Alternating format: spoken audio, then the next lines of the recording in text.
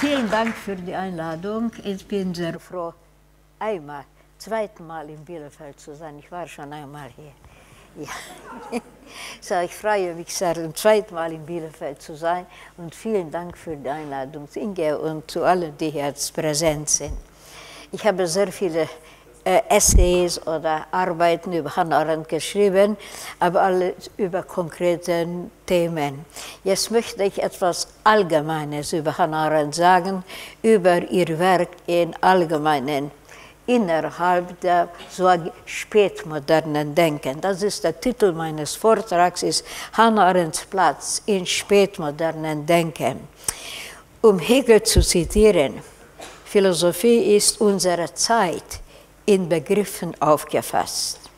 Ich nenne spätmoderne Zeit die zweite Hälfte des 20. Jahrhunderts. Die zweite Hälfte des 20. Jahrhunderts nach der Kriegsende bis zum Jahrtausendwende war bis zum heutigen Tage die letzte Zeit des Blühens der Philosophie. Eine Generation tritt damals auf die Bühne, die viel erlebt hatte. Politische Katastrophen, Turbulenzen, Erscheinungen neuer Lebensformen, Handlungsweisen, Gefahren und Ideen, die sie mindestens im Gedanken, doch manchmal auch persönlich mitgemacht oder erlebt hatten. Solche Erlebnisse fütterten die Philosophie, eröffneten die Wege für neue Fragestellungen, neue Attitüden und auch neuen, neue Stil. Ich möchte nur einige Philosophen auf diese Zwischengenerationen, diese reichen Generation zu erwähnen. Adorno, Sartre, Merleau-Ponty, Simone de Beauvoir, Foucault, Derrida, Deleuze, Habermas, vom Kontinent, Popper aus England, Arendt und Rorty aus Amerika. Einige von ihnen haben den Zweiten Weltkrieg, den Holocaust, schon als Erwachsene erlebt und auch Erfahrungen mit totalitären Gesellschaften gemacht. Manchmal, wie einige Franzosen, auch mit falschen Illusionen. Alle waren in einer Weise in der Bewegung von 1968 beteiligt und reflektierten auch auf die erwarteten und unerwarteten Konsequenzen der Bewegung der neuen Linke in der Veränderung der Lebensformen und der Fragestellungen. Der gemeinsame Merkmal dieser Generation war, dass sie ebenso wie die schon vorhin, vorherige Generation, Delta, Husserl, Heidegger, Wittgenstein, Russell, Dewey, sich von der metaphysischen Tradition losgelöst haben und zugleich zur Sache selbst zurückkehrten. Das heißt, sie haben die Philosophie als eine Lebenssache betrachtet und erlebt. Die von mir erwähnten Denker waren nicht im bloßen Rätsellösen involviert. Und sie waren auch keine antikisierenden Denker, wie die meisten heutigen kontinentalen Philosophen. Weil für sie Philosophie immer neue Fragestellungen bedeutete, nicht die Interpretation der Interpretationen einiger Alten. Für analytische Philosophen gibt es keine Tradition. Für die antikisierenden Philosophen gibt es kein Futter mehr für neue, unerwartete Fragestellungen.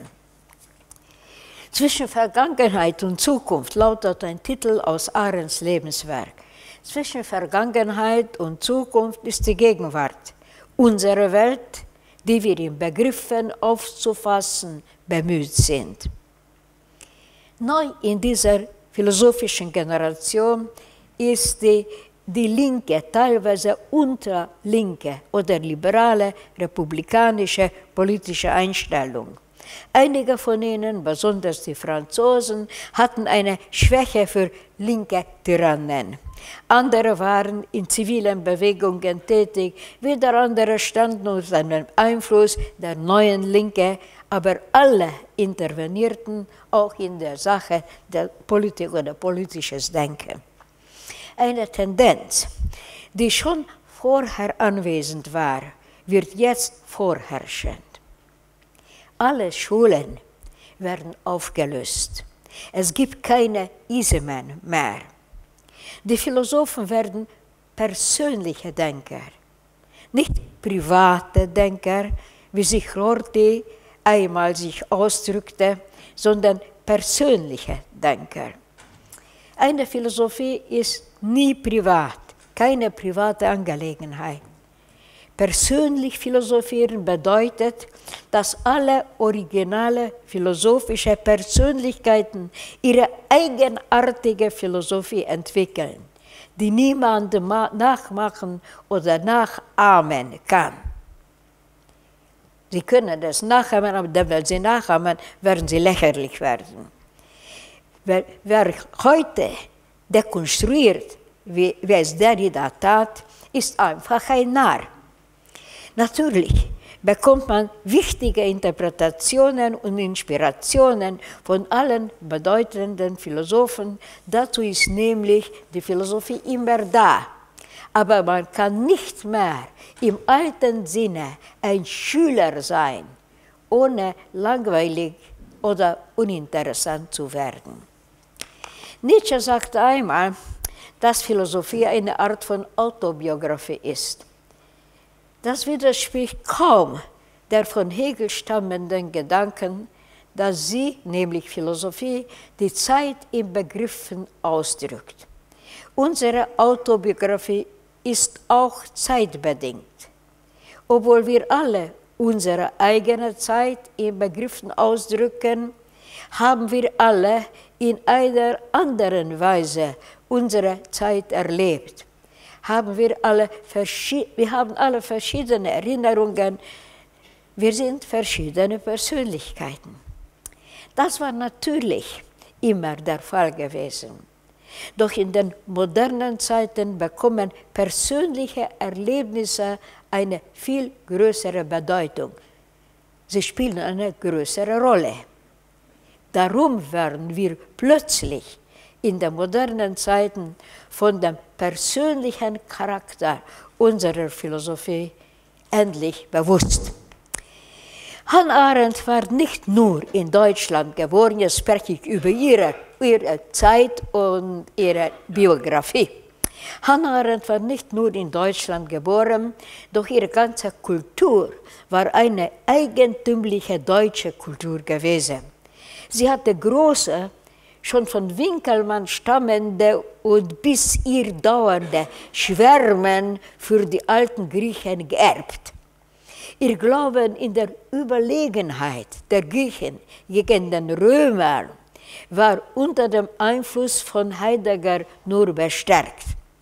Die von Heidegger und Jaspers, doch besonders durch Heidegger stammende philosophische Grunderlebnisse hat sie in ihrem ganzen Leben bewahrt.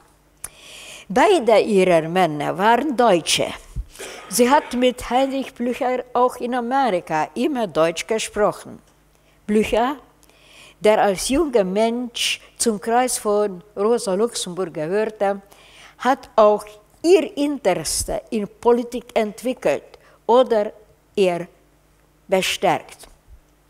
Als Jüdin hat sie auch einige Gefahren der Shoah miterlebt und sie arbeitete auch in jüdischen Organisationen, wo das sogenannte kulturelle Zionismus bis zu einem Grade sie beeinflusste.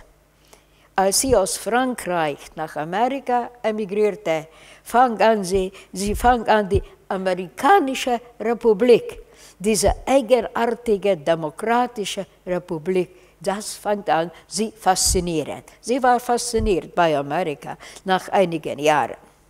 Beide, das heißt die Grekomania der deutschen kulturellen Tradition und die Faszination mit der amerikanischen Republik trugen zur Entwicklung ihrer Philosophie der Handlung bei. Wie die deutsche und altgriechische Philosophie und der amerikanischen Demokratie die Gedanken in Arendts Philosophie direkt ausdrückte. Sie haben sich direkt in ihren Gedanken ausgedrückt. Die anderen autobiografischen Erinnerungen als Frau oder als Jüdin äh, haben diese Schriften nur in einer indirekten Weise beeinflusst und nicht in einer direkten Weise wie Grecomandia und die Amerikanische Republik. Arendt war eine Frau der vielseitigen Kultur, unter anderem auch der philosophischen Kultur.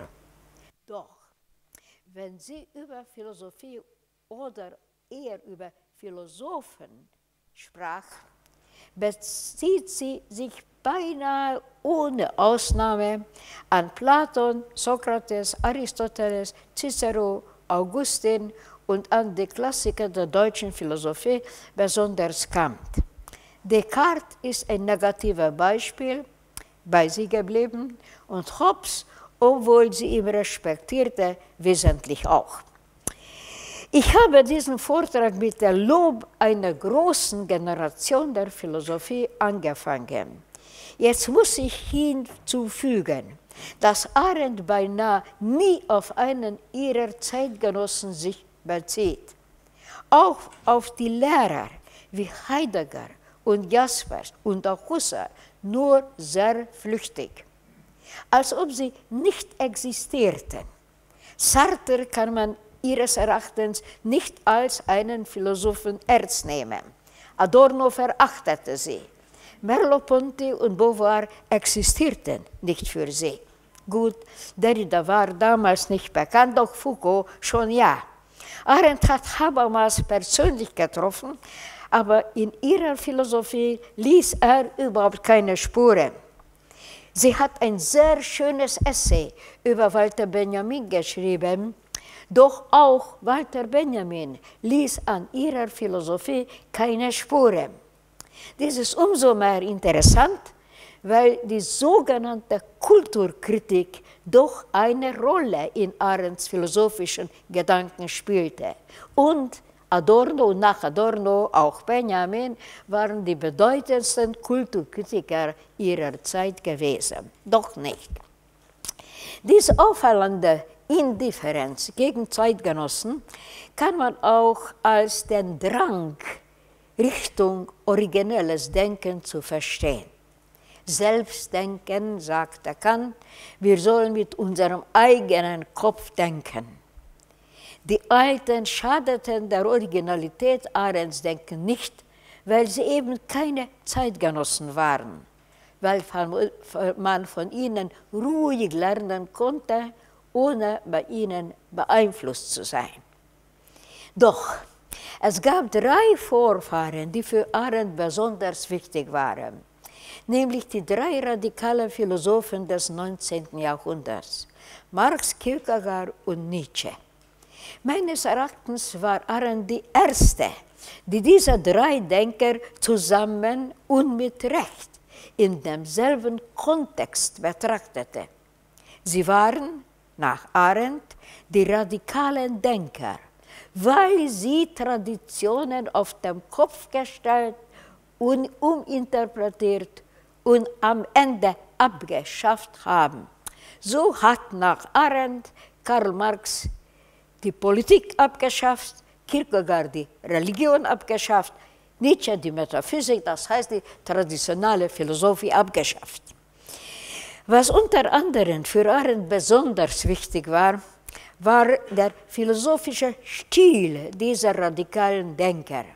Alle drei experimentierten mit unorthodoxen philosophischen Genres, besonders Essay und Aphorismen. Wenn man über einen Philosophen spricht, muss man am Anbeginn auch über ihre Sprache, charakteristische Ausdrucksweise reden. Arends philosophische Sprache war das Essay. Sie war der bedeutende, ob die bedeutende Essayistin, philosophische Essayistin ihrer Zeit.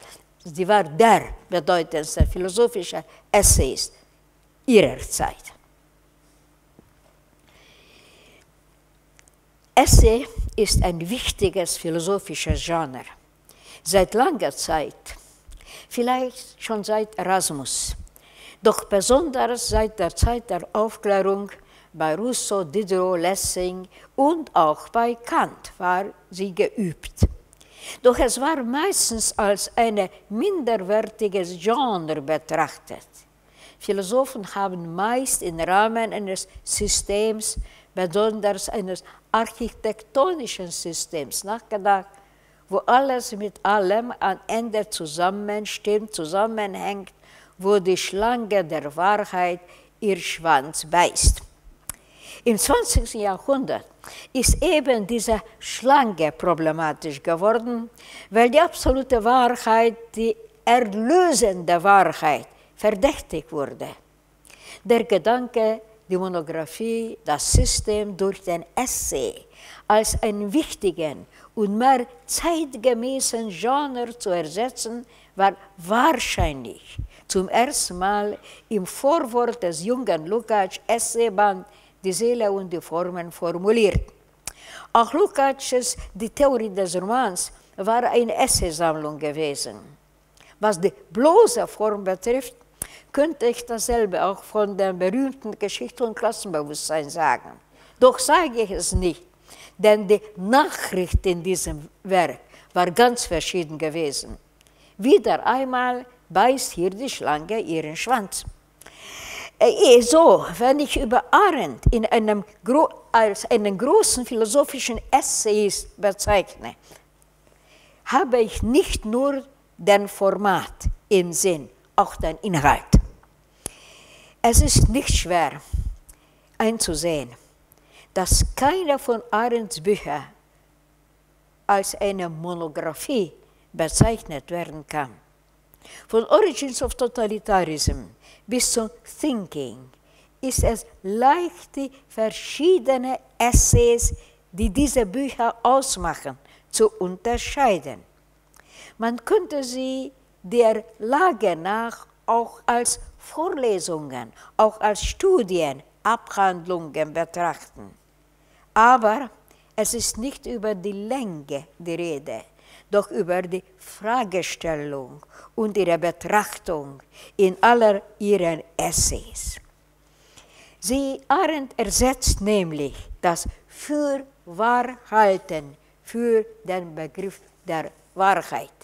So hat auch die politische Philosophie, eine, wird politische Philosophie auch eine Art der Reflexion und die Untersuchung der Platz übliche Art der philosophischen Weise, Reflexion zur Untersuchung gehört. Das heißt, philosophische Essays sind Untersuchungen und ich werde später dazu kommen, welche Art der Untersuchungen, welche Art der Interpretationen sie sind.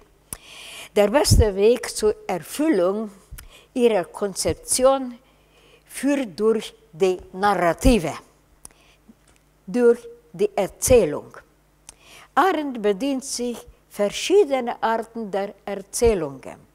Erzählung einer Philosophie, Erzählung eines Charakters, Erzählung eines historischen Ereignisses und meistens die Kombination von allen erwähnten Erzählungen. Doch die Narrativen sind nicht nur Narrativen. Innerhalb und durch die Geschichten erscheinen neue politische Begriffe. Die erzählte neue politische Erzählung ist durch Begriffen gefasst und sie schlagt immer neue Theorien innerhalb einer Geschichte vor, dass alle Geschichte endet oder mit der Geschichte sind immer neue äh, Begriffe erörtert und neue Theorien verfasst. All dies entwickelt sich in Geschichten. Das heißt, die Geschichten sind keine Illustrationen mehr. Die, äh, die Illustration, nicht die Theorie. Die theoretischen Begriffe wachsen nämlich von der Erzählung selbst heraus als ob sie menschliche Charaktere wären. Um die Eigenartigkeit des Arendtschen theoretischen Projekts zu beschreiben, muss ich noch einen Schritt weitergehen. Ich sagte, es sind Essays, ich sagte, es sind Interpretationen, ich sagte, die, die äh, Kategorien wachsen von den Geschichten aus, aber ich muss noch einen Schritt weitergehen. Es gibt sehr verschiedene Typen des philosophischen Essays, auch im 20. Jahrhundert. Ich habe die Seele und die Formen schon erwähnt, aber ich kann auch Adornos Essays der modernen Musik erwähnen. Sie sind interpretative Essays, sie sind Heterointerpretationen, wo Philosophie Kunstwerke interpretiert. Falls diese Essays eine politische Sendung haben, ist diese Sendung indirekt, meistens in Kulturkritik verhüllt. Arends Essays sind politische Essays, auch eine Art der Heterointerpretation, wo Philosophie die Politik interpretiert. Man könnte Arends Essays als narrativ-rhetorisch äh, beschreiben, narrativ-rhetorisch bezeichnen. Der Stil ist narrativ, weil, wie ich es schon erwähnte, Arendt die politischen Begriffe aus der Geschichte selbst entwickelt. Sie sind auch rhetorisch, weil die Überzeugung der Leser zu ihrem Projekt gehört. In der politischen Philosophie kann man sowieso nicht in einer üblichen Weise zwischen Dialektik und Rhetorik unterscheiden. Arendt predigt nicht, sie entwickelt die Geschichten und aus den Geschichten die Begriffe. Die Geschichten sind beinahe immer historische Geschichten. Auch im Falle der Biografien sind sie historische Geschichten. Ich meine solche wichtige Biografien wie zum Beispiel die Biografie von Disraeli in dem Buch über Totalitarismus oder die von Rosa Luxemburg in Menschen in finsteren Zeiten. Sie erzählt uns auch einige bahnbrechende politische Ereignisse, auch Geschichten, zum Beispiel die Dreyfus-Affäre oder die amerikanische Revolution. Sie mobilisiert geschichtliche Daten, die in ihrer Präsentation nicht bloße Daten bleiben. Sie sind eher mit Hegel zu sprechen, Knotenpunkte der Maßverhältnisse, besonders wenn man das Wort Maßverhältnissen mit dem politischen Wort Massenverhältnissen ersetzt. In der politischen Philosophie öffnete diese Art von rhetorischen Narrativen einen Fenster für die frische Luft der Aktualität. Statt der akademischen und wissenschaftlichen Untersuchungen der Institutionen eröffnete sich die Möglichkeit für öffentliche Diskussion über Sachen und Möglichkeiten der gegenwärtigen Handlung. Politik wird wieder einmal bei der Philosophie und nicht nur bei der sogenannten Gesellschaftswissenschaften thematisiert. Die amerikanische Tradition von Dewey ist mittels der europäischen Tradition entwickelt. Die drei Kantsche Fragestellungen, was kann man wissen, was soll man tun und was darf man hoffen, sind wieder einmal gestellt. Ich wiederhole, Arends philosophische Narrativen sind rhetorisch. Sie schreibt sehr schön, sie kann uns überzeugen. In Narrativen gibt es keine logischen Widersprüche. Sie sind, wenn sie sind, sie sind ganz und gar unwichtig. Sie kümmern uns überhaupt nicht. Was uns kümmert, sind die theoretischen Resultate. Was uns kümmert, ist, was in diesen Geschichten neu ist. Das Neue, das uns erleuchtet und einleuchtet und schon abgeschmachte Konzeptionen in neuem Licht setzt, neue Licht erscheinen, diese abgeschmackte Konzeptionen. Arendt macht uns Gedenken über Gesellschaft, Geschichte und die, Polit äh, die politischen Institutionen und der Standpunkt der Politik. Äh, sie, sie ärgert uns und sie inspiriert uns zugleich.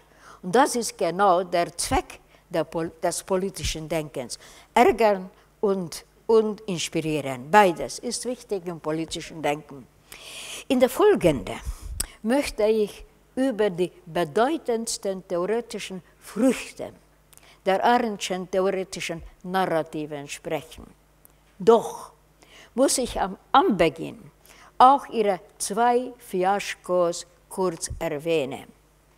Es gab zwei Bücher, wo Arends Stil der politischen Philosophie, die Anwendung der rhetorischen Narrativen einfach schiefgegangen ist. Sie sind Eichmann in Jerusalem und Life of the Mind.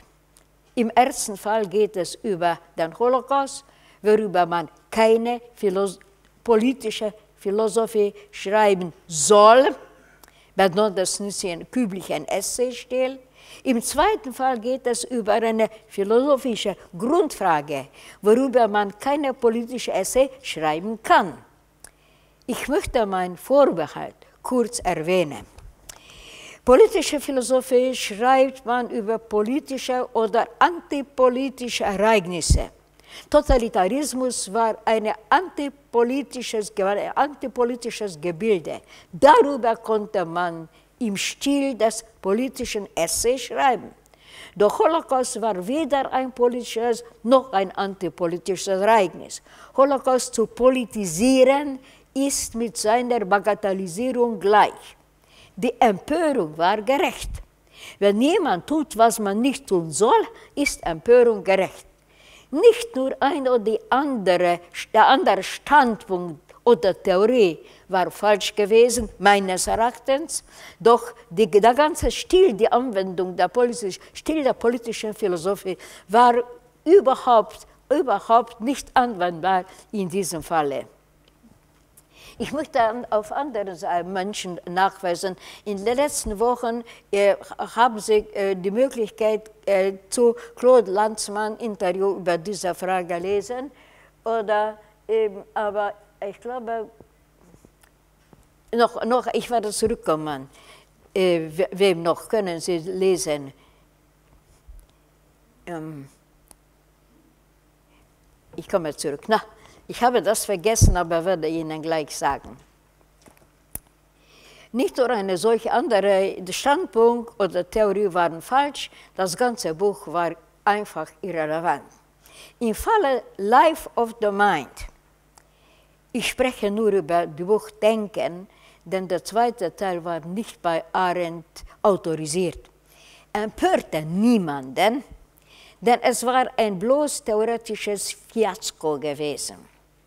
Wenn ein Essay ein politisches Ereignis von einem anderen Blickwinkel er erhält als das nächste Essay, wenn sie widers einander widersprechen, das ist nicht nur normal, das ist auch wünschenswert, wenn man über Geschichten redet.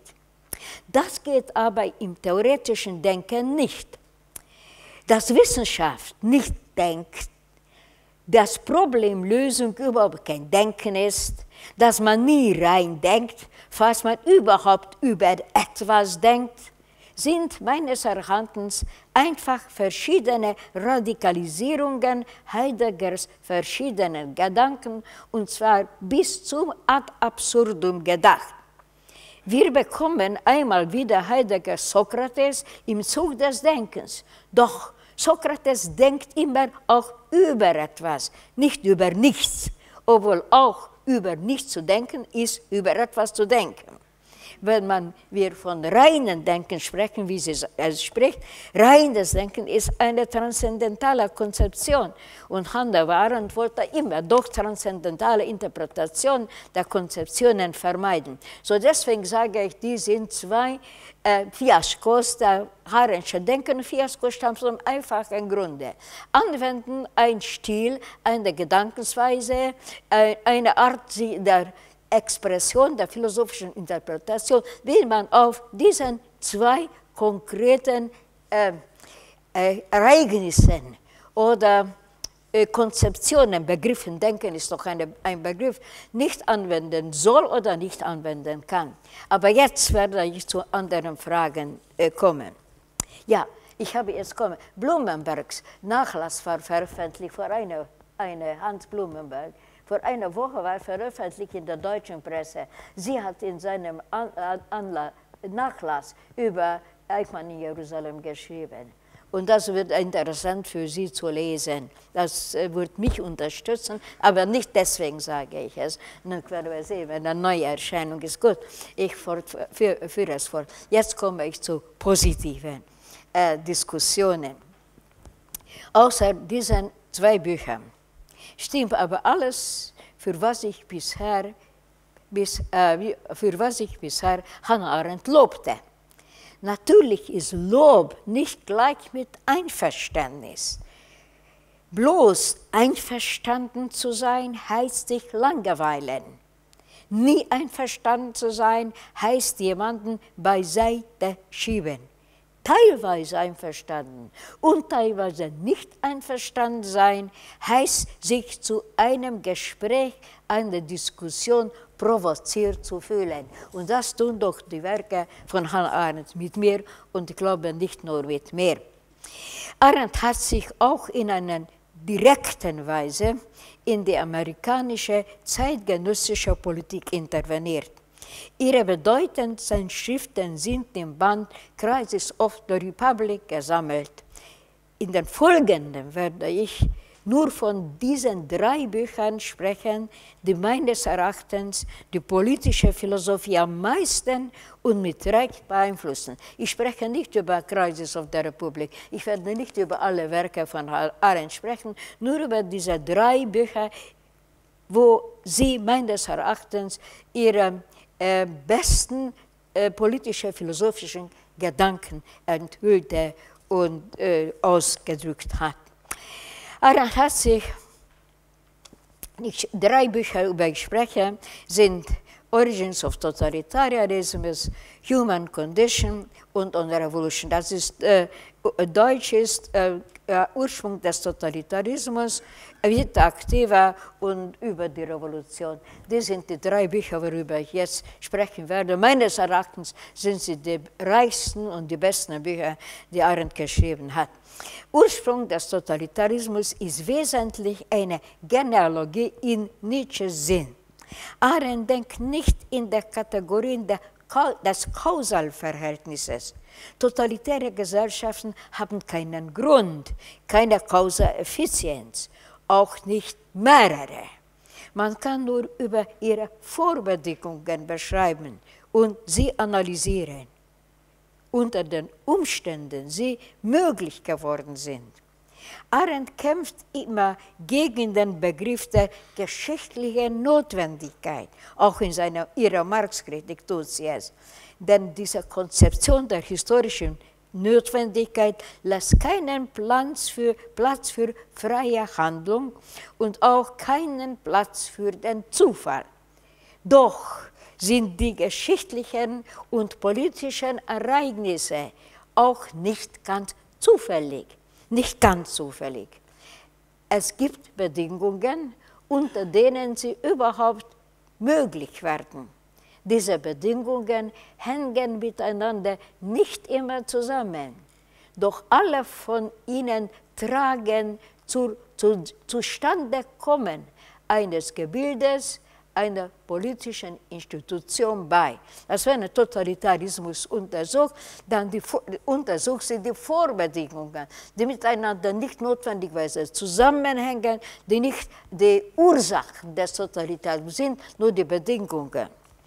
Arendt gehörte zu den Ersten, die in Allgemeinen über totalitäre Gesellschaften gesprochen haben. Sie war die Erste, die es festgestellt hat, dass hier nicht über einen Zurückfall ins Mittelalter geht, dass Totalitarismus eine moderne politische Gebilde ist und seine Brutalität auch eine moderne Brutalität. Das war eine tapfere theoretische Stimme damals gewesen, obwohl es vielleicht heute selbstverständlich ging. Das ist aber das Schicksal der wirklich bedeutenden theoretischen Ideen, dass nach einer Weile die selbstverständlich werden. In der Charakterisierung der totalitären Staaten unterstreicht Arendt die gemeinsamen Züge zwischen Nazismus und Bolschewismus, ohne die ideologische Differenz beiseite zu schieben. Die Linke war empört, damals empört. Arendt war damals als eine konservative Autorin beschimpft. Doch dauerte keine lange Zeit, bis die Richtigkeit ihrer Analysen äh, anerkannt wurden. Es ist auffallend, dass am Anbeginn ihres Buches über Totalitarismus Arendt diese zentrale Idee noch nicht entwickelt. Sie hat noch am Anbeginn nicht entwickelt, dass alle totalitäre Gesellschaften gemeinsame Züge haben. Denn sie fängt doch mit Antisemitismus an und Antisemitismus spielt eine dominierende Rolle in der Genealogie des Nazismus, doch nicht in der Genealogie des Bolschewismus, auch nicht des italienischen Faschismus. Der Zerfall des Nationalstaates ist auch meist problematisch als eine der Bedingungen im Falle eines äh, bolschewistischen äh, äh, Gebildes.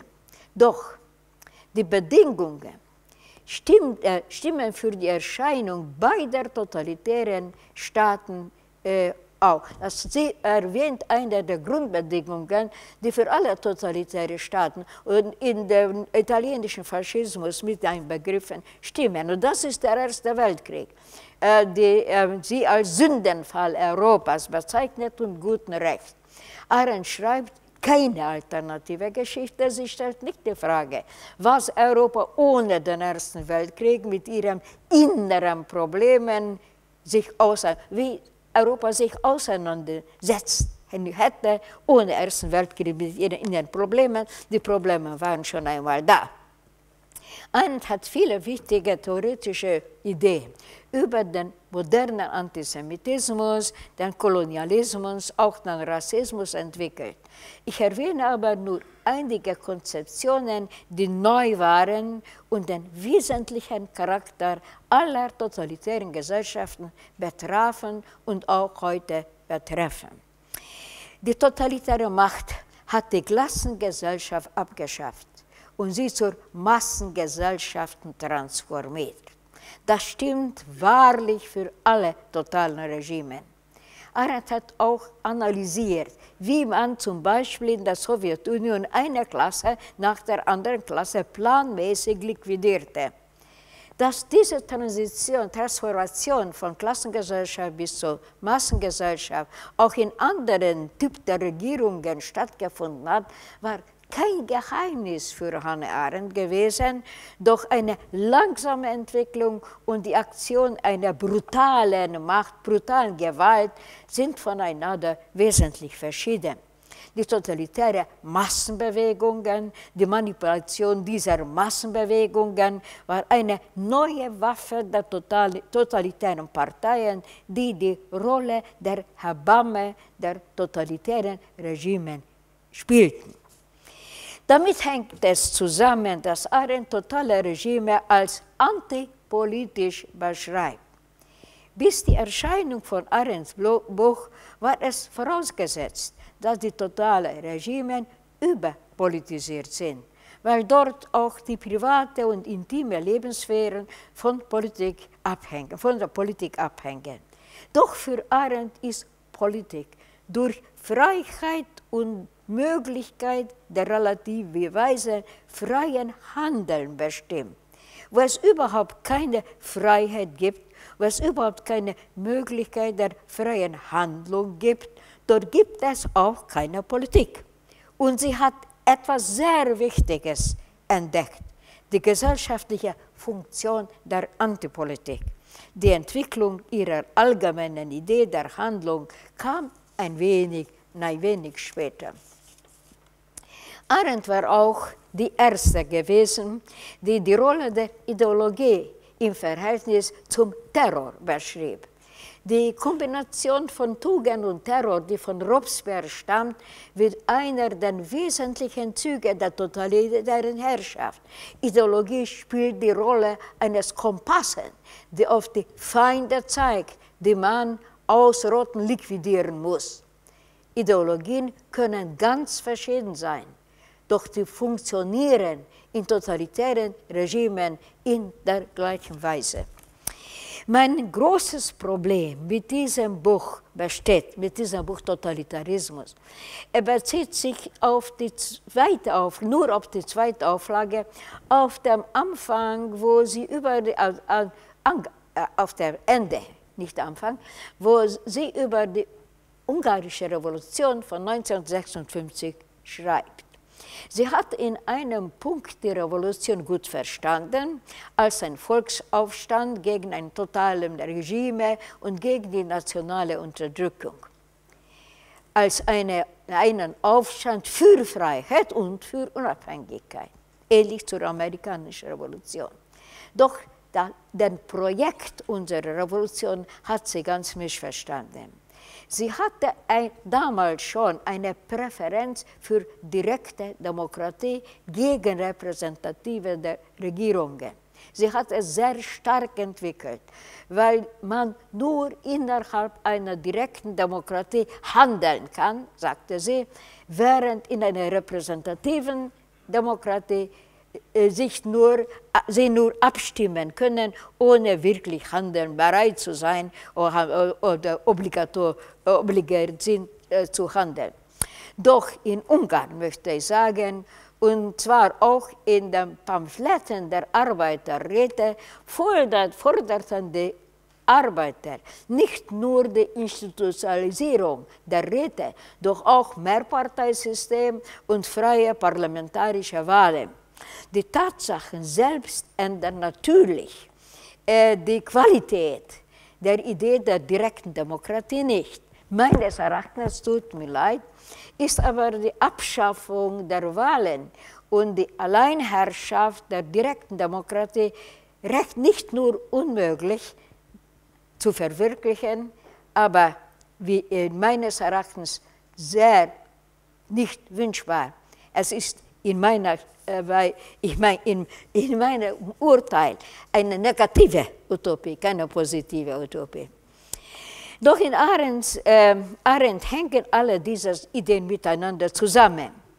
Dass die Repro äh, Reproduktion des Lebens auf der untersten Stufe der Wiederaktiva steht und dass die soziale Frage in einer Demokratie, in äh, demokratischen Politik keine Recht hat keine Rolle spielen kann, sind die Grundgedanken dieses Nachworts. Dass die Präferenz für direkte Demokratie ist, äh, hängt damit zusammen, dass die soziale Frage äh, keine politische Frage ist, wenn man dort nicht handelt und dass äh, die Reproduktion Lebens der untere Stufe, Stufe der äh, prakti praktischen Lebens ist, die hängen miteinander zusammen.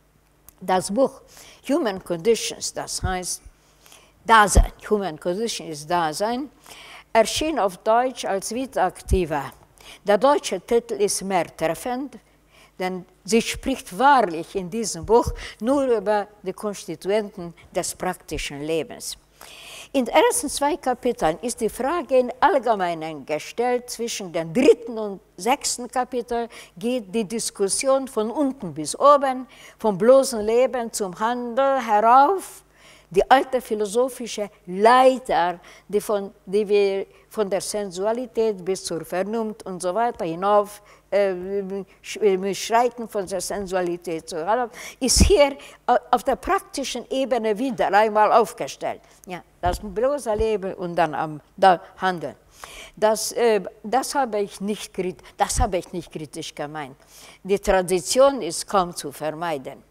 Umso weniger, weil der oberste Begriff des praktischen Lebens, des Handelns, als reines Handels eingeführt ist, wieder einmal als eine transzendentale Idee.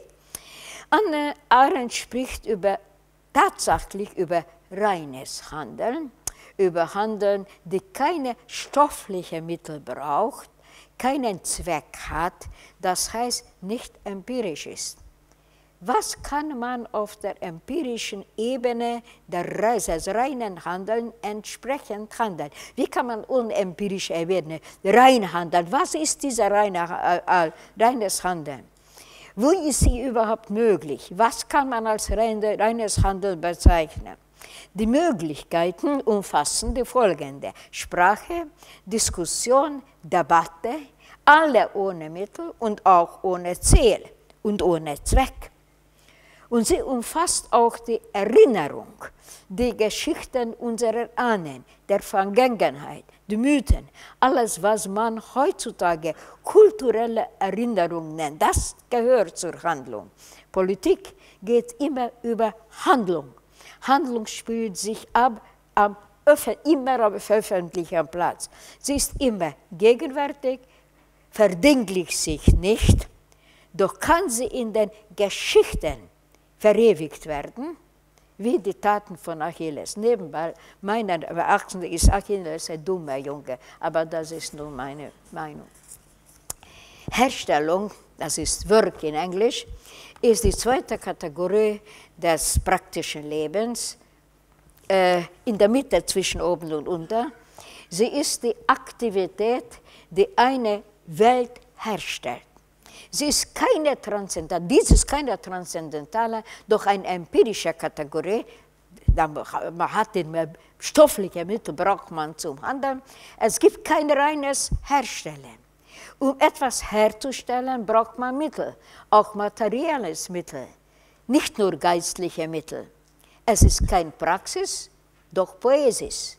Die Herstellung ist nicht die Tat des Lebens, sondern der und nicht des Leibes. Leib hat damit nichts zu tun. Es ist Tat der Hände, eine Art der künstlerischen, künstlichen Schaffens. Was Arendt Arbeit, Leber nennt, ist die unterste Stufe des praktischen Lebens. Sie beschreibt die bloße Reproduktion des Lebens als Arbeit am Leben. Sie ist die Arbeit des Leibes von Geburt bis zum Tode. Sie spielt sich ab im privaten Bereich. Die Gebundenen, äh, alle, die doch Hegel sehr gut kennen, äh, werden erkennen Hegels Gedankengang hier, äh, wie er die griechische Gesellschaft beschreibt. Öffentlichkeit für Männer, ja, und das private, finstere Leben für Frauen. Ja, das ist wegen derselbe, dieselbe Sache in anderen Begriffen ausgedrückt.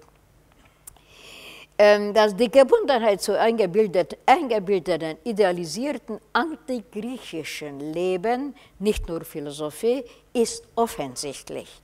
Keine Kultur ohne Sklaverei, sagte Nietzsche.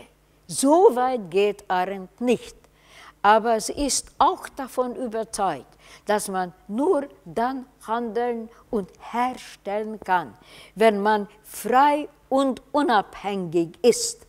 Die unfreien Männer und alle Frauen können nur das bloße Leben reproduzieren. Sie können weder herstellen noch handeln, eben weil sie unfrei sind. Das lautet unmenschlich in unserer Zeit. Doch scheint es wahr zu sein. Persönliche Freiheit, relative Unabhängigkeit, relative Autonomie der Persönlichkeit sind die Vorbedingungen des politischen Handels und auch der Herstellung vielleicht, Herstellung einer Welt, die Vorbedingung der Herstellung einer Welt. Sie hat recht gehabt. Warum spielten keine Frauen bedeutende Rolle in der Politik außer der Königinnen? Warum haben sie keine Kirchen gebaut?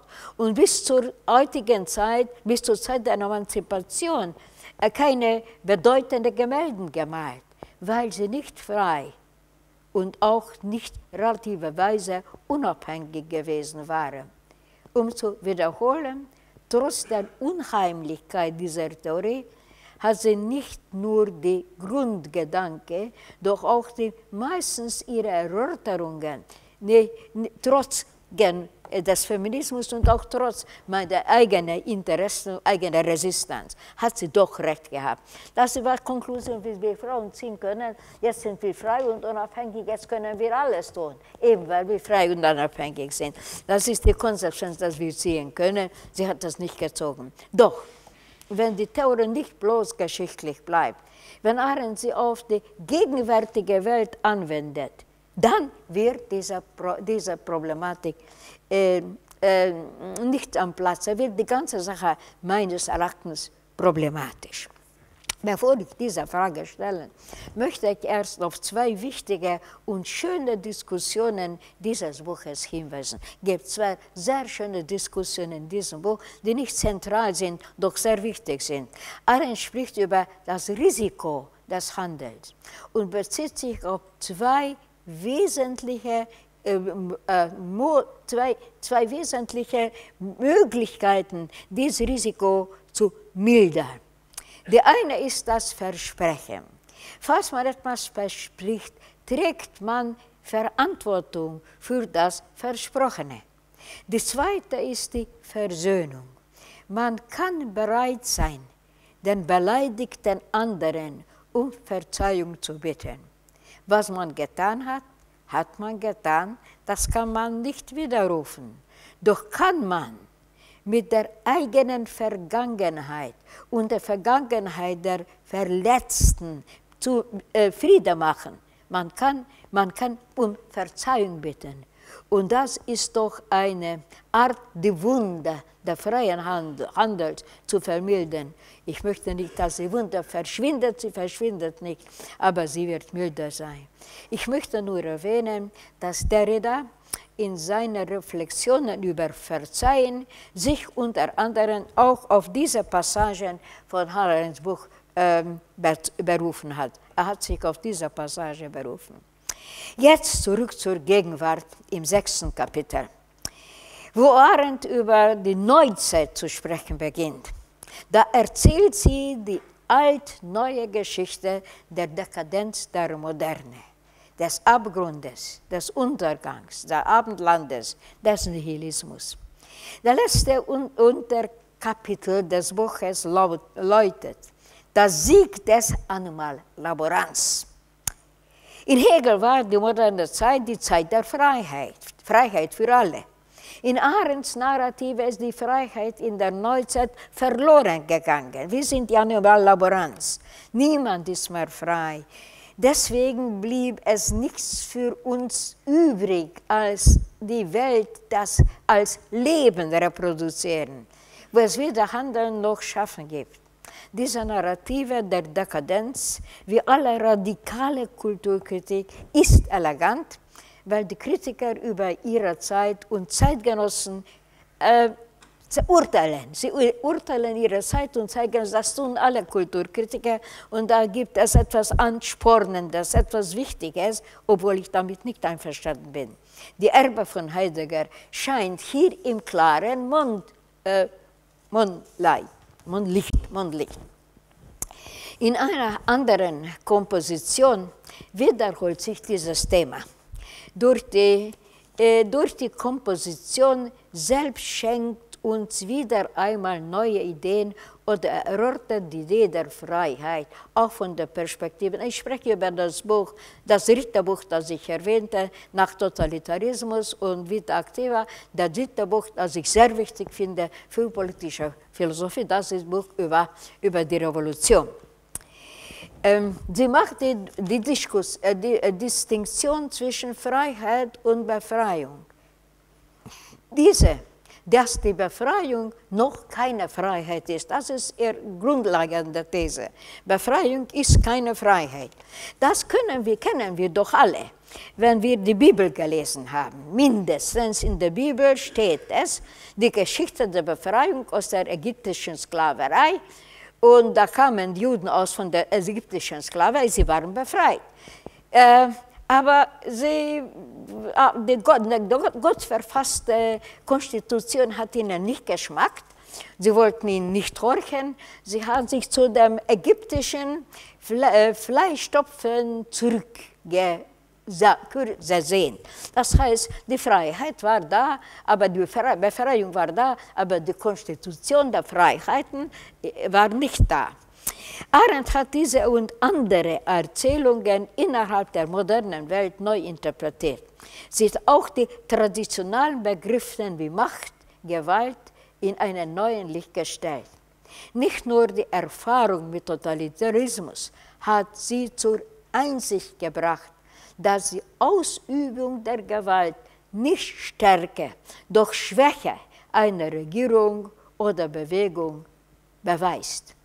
Dies war umso wichtiger, weil zur selben Zeit europäische Intellektuellen, besonders in Frankreich, Sartre, Merleau-Ponty und andere, die Gewalt kultivierten, ihre große Größe lobten. Arendt schwamm hier gegen den Strom. Dies, das tat sie auch, obwohl sie in einer verkehrten Weise, in verkehrten Weise stellte die Frage der Macht. Das ist äh, in der Frage der Gewalt äh, sprach, äh, sagte sie das Gegenteil, was die Franzosen sagten. Sie haben mit der ganzen Idealisierung der Gewalt nicht einverstanden. Was den Bach betrifft, war sie auch nicht einverstanden mit denen, aber in einer verkehrten Weise. Denn für die Franzosen und sehr viele Leute war Macht eine negative Kategorie. Man sagte, die Menschen streben Macht an, das war immer negativ gemeint. Aber jetzt sagt der Arendt, das ist keine negative Sache. Wir Macht, wir, wenn wir Macht haben, sind wir, haben sie Macht für etwas, nicht nur Gegner. Wir sind bemächtigt für etwas tun. Und ohne Macht ist nichts Positives. Bemächtigt sein ist, es ist für etwas fähig zu sein, etwas zu tun. Unmächtig sein ist keine Tugend. Es ist eben überhaupt nichts. Im Buch über die Revolution vergleicht Arendt die amerikanische und die französische Revolution miteinander. Und dieses Vergleich, Vergleich aktiviert sie alles, was sie über Handlung und bloße Arbeit in Vita Activa sagte. Die französische Revolution muss ja zugrunde gehen, sagte Arendt, weil sie nicht die Revolution der reinen Handlung gewesen war. In der freien Taten, der reinen Handlung, hat sich innerhalb der Französischen Revolution die sogenannte soziale Frage eingemischt. Die Fragen, soziale Frage, diese Fragen des bloßen Lebens, haben die Fragen der freien Handlung ersetzt. Die reine Handlung war mit Stoff beschmutzt, Stoff der sozialen Frage beschmutzt. Die amerikanische Revolution im Gegenteil zu Französischen war die Sache der reinen Handlung gewesen. Und darum war sie, hat sie auch gesiegt. Doch auch diese Revolution war verdorben oder eher verraten, weil die Nachfolger der ursprünglichen Ideen nicht treu blieben um das reine Wasser des Ursprünglichen, der ursprünglichen Ideen wieder einmal mit der sozialen Fra Frage betrogen haben. In Arends Lebenszeit war eben diese Antwort ihm am meisten ihr vorgeworfen. Auch ihre Freundin Mary McCarthy hat diese Antwort ihr vorgeworfen, etwas, was sie nicht verstanden hat. Mit Recht. Denn heute kann man überhaupt keine Politik vorstellen, wo die soziale Frage keine Rolle spielt. Arendt hat doch recht, wenn sie betont, dass in einer Massengesellschaft die sozialen Fragen alle politischen Fragen der Freiheit entsetzen können. Sie war eine gute Kant-Schülerin. Der Meister betonte immer, dass in einer Republik die Sache der Freiheit immer Priorität gegen die Sache der Glückseligkeit haben soll. Doch Arendt hat auch Unrecht, indem sie vorstellt, dass freie Menschen sich mit den sozialen Fragen nicht beschäftigen können oder sollen. Sie setzt voraus, dass die sozialen Fragen Probleme sind, die durch die Wissenschaftler gelöst werden können und überhaupt nicht ein Problem der Politik darstellen. Das ist grundfalsch. Wenn auch die pragmatische Lösung einer sozialen Frage keine politische Angelegenheit ist, ist doch eine oder andere Frage auf die Tagesordnung gestellt. Wenn sie auf der Tag Tagesordnung gestellt ist, ist eine, ist sie eine wichtige politische Angelegenheit.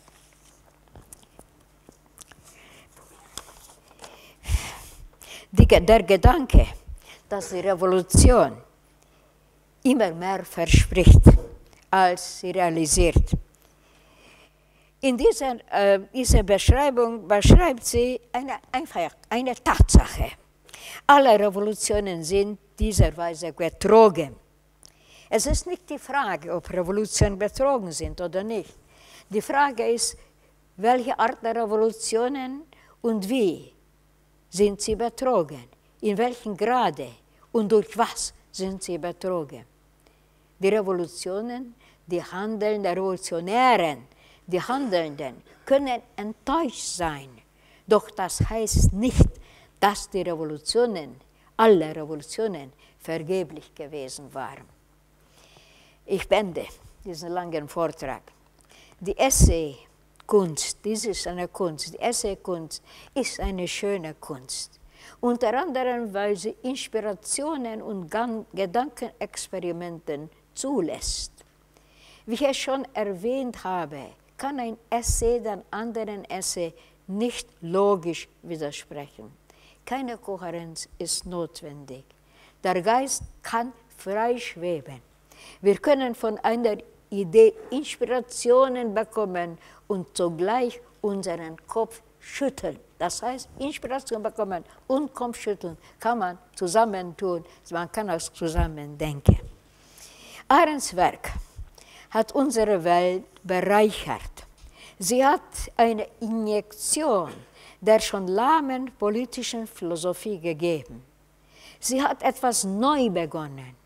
Und obwohl sie unsere neue Welt als eine für Freiheit, Handeln, Schaffen verlorene Welt, verlorene Welt beschrieb, sprach sie auch immer über die Geburt, über die neugeborenen Menschen, über die Kinder, die in die Welt eintreten, etwas Neues, ganz Unerwartetes schaffen können. So ist auch, die, so ist auch eine Hoffnung der Neuzeit, dass jung, jung Menschen immer in die Welt treten und etwas Neues hineinführen können in unsere Handlung verlassene Welt. Dankeschön.